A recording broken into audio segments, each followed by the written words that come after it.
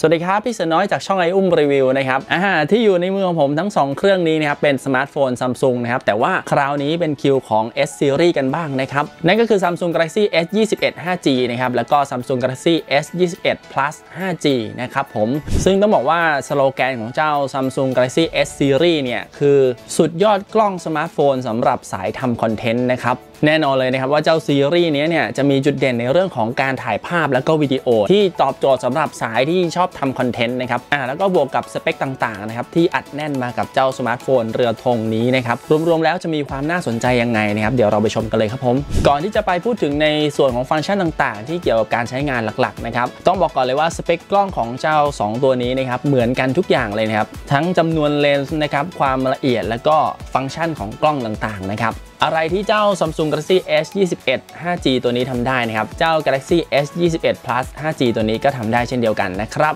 มาเริ่มกันที่โหมดกล้องก่อนเลยนะฮะ เนื่องจากเจ้า S 21 Series เนี่ย เป็นสุดยอดสมาร์ทโฟนสำหรับสายทำคอนเทนต์นะครับ ก็ต้องมีฟังก์ชันที่เหมาะกับการทำคอนเทนต์เลยนะครับ นั่นก็คือโหมด Director's View หรือโหมดมุมมองผู้กำกับนั่นเองนะครับ โดยโหมดนี้เนี่ยจะทำการถ่ายภาพจากกล้องหน้าแล้วก็กล้องหลังได้พร้อมกันนะครับ โดยสามารถเลือกมุมมองต่างๆ ได้นะครับ ตามฟังก์ชันของโหมดนี้เลยนะครับแล้วก็สามารถเลือกได้ 3 รูปแบบเลยนะฮะ และถ้าทำการสลับไปกล้องหลังนะครับ ก็จะมีการแสดงช่อง preview 3ช่องทางด้านขวามือขึ้นมานะครับ โดยจะแยกเป็นแต่ละมุมมองของแต่ละเลนส์ให้เราสามารถที่จะเลือกสลับเลนส์เพื่อเปลี่ยนมุมมองได้แบบทันทีเลยนะครับ ก็ถือเป็นฟังก์ชันที่ทำให้การถ่ายวิดีโอทำคอนเทนต์เนี่ยดูมีความแปลกใหม่ และก็ดูน่าสนใจมากขึ้นนะครับผม และต่อมานะครับก็จะเป็นโหมด Single Take นะครับ ซึ่งโหมดนี้เนี่ยจะเป็นโหมดที่เราเนี่ยกดถ่ายทีเดียวก็จะได้ภาพหลายช็อตเลยนะครับ ได้ทั้งแบบเป็นวิดีโอปกติเนี่ยเป็นวิดีโอฟิลเตอร์แล้วก็เป็นภาพถ่ายธรรมดา หรือว่าภาพถ่ายฟิลเตอร์ขึ้นมานะครับ แล้วก็จะมีการเลือกช็อตไฮไลท์ให้เราด้วยนะฮะ ตามที่เราตั้งค่าไว้นะครับ โดยโหมดนี้เนี่ยเราจะตั้งค่าได้ตั้งแต่ 5 วินาทีจนถึง 15 วินาทีเลยนะครับ นอกจากจะมีโหมดการถ่ายวิดีโอแบบปกติแล้ว ตัวนี้ก็ยังมีโหมดการถ่ายวิดีโอแบบ Pro Videoด้วยนะฮะ ปกติเราอาจจะเห็นในโหมด Pro ของการถ่ายรูปใช่ไหมครับ แต่ว่าตัวนี้เป็นการถ่ายวิดีโอด้วยนะ ซึ่งจะมีความพิเศษตรงที่เราสามารถที่จะปรับค่าต่างๆ ได้นะครับ เหมือนกับการถ่ายรูปเลยนะ ไม่ว่าจะเป็นการเลือก speed shutter นะครับการชดเชยแสง white balance ต่างๆนะครับเราสามารถที่จะปรับได้หมดเลยและที่พิเศษกว่านั้นนะครับเราสามารถที่จะเลือกตำแหน่งของไมค์ที่เราจะใช้ได้ด้วยนะครับคือเราสามารถเลือกที่จะใช้ไมค์ด้านหน้าหรือด้านหลังได้นะครับสมมุติเราพูดอยู่อย่างเงี้ยตอนเราถ่ายครับเราก็สามารถที่จะเลือกไมค์ด้านหน้านะเพื่อรับเสียงของเรานะครับส่วนถ้าเกิดเราสลับไปถามคนที่เราถ่ายอยู่นะครับก็สามารถที่จะสลับเป็นไมค์หลังได้นะครับเพื่อรับเสียงจากฝั่งตรงข้ามเรานะฮะและก็ยังสามารถที่จะเชื่อมต่อกับ Galaxy Buds Live นะครับเพื่อใช้เป็นไมค์นองในการถ่ายวิดีโอได้ด้วยนะครับผม ซึ่งอันนี้ก็จะช่วยให้ได้คอนเทนต์ที่ดูมีความเป็นมืออาชีพมากขึ้นไปอีกนะครับผม แต่ว่าต้องบอกก่อนว่าในโหมดนี้นะครับจะใช้ได้เฉพาะในส่วนของกล้องหลังเท่านั้นนะครับ จะไม่สามารถใช้ได้ในกล้องหน้านะ ในโหมดวิดีโอนะครับยังไม่หมดเพียงเท่านี้นะครับ นอกจากมีโหมด Pro Video แล้วนะ ก็ยังมีโหมด Portrait วิดีโอด้วยนะฮะ ซึ่งก็จะเป็นการถ่ายวิดีโอแบบหน้าชัดหลังเบลอนะครับ ซึ่งเราสามารถที่จะเลือกฟิลเตอร์ฉากหลังได้นะครับ ว่าจะให้เป็นฉากหลังเบลอแบบปกติธรรมดานะครับ หรือว่าจะให้เบลอแบบ bokeh นะ หรือจะเป็นแบบ color point นะที่จะเลือกเฉพาะสีในส่วนของด้านหน้านะครับ แล้วก็ด้านหลังฉากเนี่ยก็จะเป็นขาวดำแล้วก็อีกแบบหนึ่งก็จะเป็น glitch นะครับ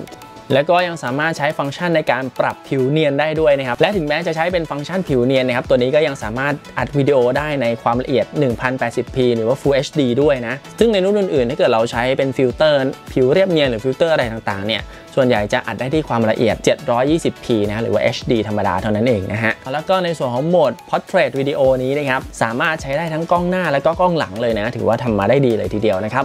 แล้วก็ในส่วนของการถ่ายวิดีโอนะครับความละเอียดสูงสุดที่ถ่ายได้นะครับจะเป็นความละเอียดถึง 8K นะครับที่ 24 fps นะครับแล้วก็ยังมีฟังก์ชันวิดีโอ snap นะครับซึ่งสามารถที่จะ capture ภาพนิ่งจากวิดีโอ 8K ตัวนี้นะครับออกมาได้ที่ความละเอียด 30 ล้านพิกเซลเลยนะครับ โหมดนี้เหมาะกับผมจริง ๆ เลยนะฮะ ถ่ายเท่าไหร่ก็ไม่ถูกใจเธอนะครับ เพราะฉะนั้นถ่ายเป็นวิดีโอ 8K แล้วก็ให้คุณเธอไปเลือกช็อตเอาเองเลยนะครับ จะได้ไม่ต้องมาถ่ายหลายรอบนะครับ แอบบ่นแอบบ่น ทีนี้มาพูดถึงในส่วนของรูปถ่ายกันบ้างนะครับ เจ้า Samsung Galaxy S 21 Series นี้นะครับ สามารถที่จะถ่ายเป็นแบบไฟล์ RAW 12 บิตได้ด้วยนะครับ ซึ่งก็จะให้รายละเอียดสีที่มากกว่าปกติถึง 64 เท่าเลยนะครับ สามารถที่จะเอาภาพนี้ไปแต่งต่อได้โดยไม่เสียคุณภาพเลยนะครับผม เหมาะสำหรับสายชอบแต่งรูปมากๆนะครับ ก็แต่งได้ตามสบายเลยนะครับ แล้วก็สามารถถ่ายภาพความละเอียดสูงได้ที่ 64 ล้านพิกเซลด้วยนะครับ ก็จะมีโหมดที่เราสามารถเลือกที่จะถ่ายเป็นแบบ 64 ล้านพิกเซลได้นะครับ ความละเอียดสูงขึ้นมาก็จะได้ภาพที่คมชัดมากขึ้นนะครับ แล้วก็ขยายได้ใหญ่มากขึ้นนะครับ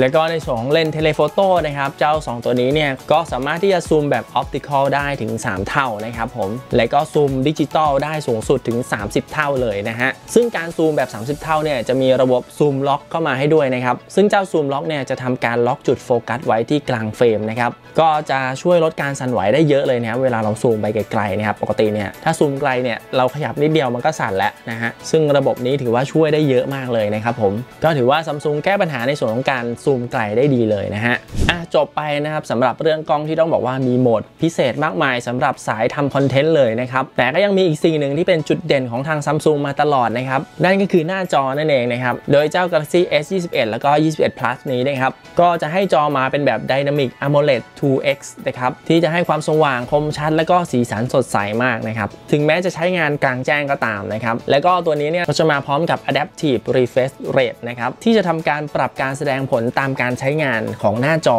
นะ โดยจะเริ่มตั้งแต่ 48 Hz ขึ้นไปนะครับจนถึง 120 Hz เลยนะฮะ ซึ่งเวลาเราใช้งานในส่วนของที่จอไม่ได้มีความเคลื่อนไหวมากนะครับ เช่นการดูรูปหรือดูภาพนิ่งต่างๆนะครับ จอเนี่ยก็จะทำการลด refresh rate ลงมาที่ 48 Hz นะครับ ก็อยู่ในส่วนของอัตราที่ต่ำสุดที่ทำได้นะครับ ก็ที่จะช่วยประหยัดพลังงานนะครับในส่วนของหน้าจอตรงนี้ แต่สมมุติถ้าเราสลับไปใช้งานในส่วนอื่นนะเช่นเปลี่ยนไปดูวิดีโอดูหนังหรือเล่นเกมอย่างนี้นะครับจอก็จะทำการเพิ่ม refresh rate ขึ้นมานะครับก็สามารถขึ้นไปสูงสุดได้ถึง 120 Hz เลยนะฮะเพื่อให้เราได้เห็นภาพที่ลื่นไหลนะครับได้อัตรสในการดูหนังหรือว่าเล่นเกมมากขึ้นตามความสามารถของจอที่ทำได้นะครับแต่ถ้าเราไม่ชอบที่จะให้มัน adaptive แบบนี้เป็นออโต้นะฮะเราก็สามารถที่จะไปปรับตั้งค่า refresh rate ให้คงที่อยู่ที่ 60 Hz ได้นะครับผมเราไปต่อกันที่ประสิทธิภาพของเจ้า 2 ตัวนี้กันเลยนะฮะ โดยทั้ง 2 รุ่นนี้เนี่ยจะใช้ CPU เป็น Exynos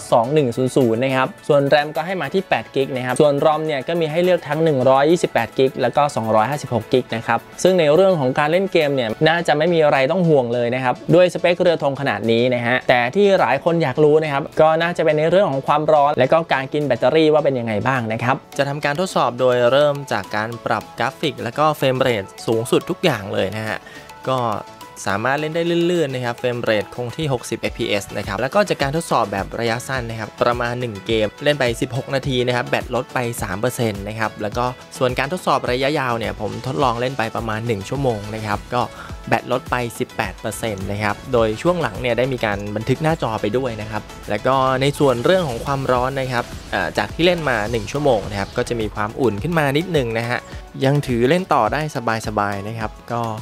ถือว่าจัดการในเรื่องของความร้อนได้ดีอยู่นะครับผม ในส่วนของระบบปฏิบัติการนะครับ ตัวนี้ก็มาพร้อมกับ Android 11 นะครับ แล้วก็ครอบทับด้วย One UI 3.1 นะฮะ แล้วก็สามารถใช้ 5G ได้ทั้ง 3 รุ่นเลยนะครับ แล้วก็ในส่วนของปากกา S Pen นะครับ หลายคนอาจจะสงสัยว่าใช้ได้ทั้ง 3 รุ่นเลยไหมนะครับ อันนี้ต้องบอกว่าในส่วนของ Samsung Galaxy S 21แล้วก็ S 21 Plus เนี่ย จะไม่สามารถใช้ปากกา S Pen ได้นะครับ ก็จะใช้ได้เฉพาะกับรุ่นใหญ่เจ้า S 21 Ultra เท่านั้นนะครับในช่วงท้ายนะครับเดี๋ยวเรามาดูในส่วนของการดีไซน์กันนิดนึงแล้วกันนะครับต้องบอกว่าที่แปลกใหม่สะดุดตาเลยนะครับก็คือในส่วนของโมดูลกล้องนะครับอันนี้เขาจะทำมาเป็นลักษณะเหมือนเป็นชิ้นเดียวกับกรอบโลหะรอบเครื่องเลยนะครับซึ่งก็จะทำให้ดูมีความเงางาม แล้วก็ดูหรูหราเป็นเนื้อเดียวกัน แล้วก็ดูแปลกใหม่ดีนะครับยังไม่เคยเห็นกล้องในส่วนลักษณะประมาณนี้มาก่อน แต่โดยส่วนตัวสำหรับผมนะผมว่าสวยดีนะครับอะก่อนจะจบกันไปนะครับเดี๋ยวเรามาดูสิ่งที่แตกต่างของเจ้า Galaxy S 21 แล้วก็ S 21 Plus ตัวนี้นะครับว่ามีอะไร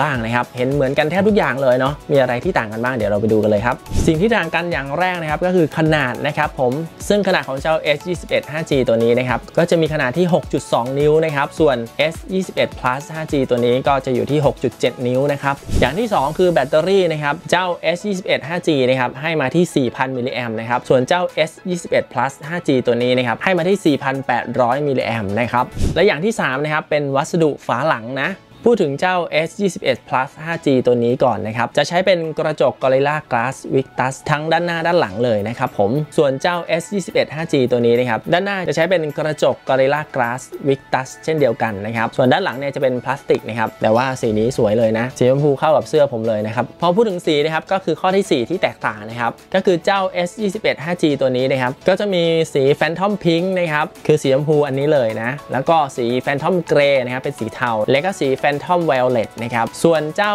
S21 Plus 5G ตัวนี้นะครับ ไม่มีสีชมพูแล้วนะ ก็จะมีสีดำนะครับ หรือว่า Phantom Black นะครับ แล้วก็สีเงิน Phantom Silver นะครับอ่าแล้วก็สีนี้นะครับสีม่วงหรือว่า Phantom Violet นั่นเองนะครับ มีตัวอย่างเคสของเจ้า 2 ตัวนี้มาให้ดูด้วยนะครับ